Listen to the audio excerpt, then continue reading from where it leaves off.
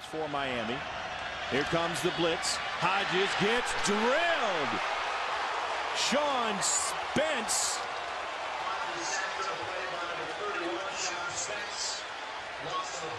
Well, talking with defensive coordinator John Lovett, he said we don't bring a lot of exotic blitzes, but what we do, the guys have to execute. They bring seven on this play and overwhelm UCF. They bring seven. There's only six defenders or six offensive people to bring it up. That's a guy.